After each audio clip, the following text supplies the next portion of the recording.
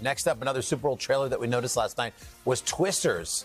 It is storm season again. Yes. I can feel your excitement Oh, from here, good. Uncle Al. Yeah. The 90s blockbuster hit Twisters back with a new cast led by Glen Powell and Daisy Edgar Jones. It comes from the Oscar nominated director of Minari, Lee Isaac Chung. Here's a look. It's Tyler Owens. Calls himself a tornado wrangler. If you feel it, chase it! I said if you feel it, chase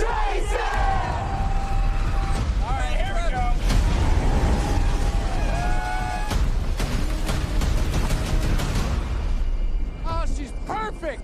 She's gorgeous. You thought you could destroy a tornado. We never had a chance.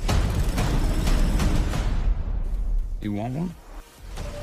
See, it's like speed dating. Oh, yeah. You think it's gorgeous one second, and then two seconds later, Yeah, it's, it's not so gorgeous. It's like marriage, you know. It's crazy. If everything's great, then you lose your house. It's beautiful. Oh my God, it took my house. It's It nuts. love month here, not cynicism month. Okay, what's that's going next on with month. you two? How good too. does that movie look? I can't that, wait. uh, that came I on last so night, excited. and I think it was that Twister when it came out. I don't Yep. know where CGI was, but it was so much. Nowhere near this. They did a great Oh, job of that. Twisters, Twisters. also from our sister company, Universal Pictures, by the way, that hits theaters in July.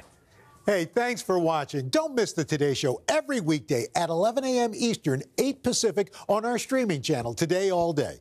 To watch, head to today.com slash all day or click the link right here.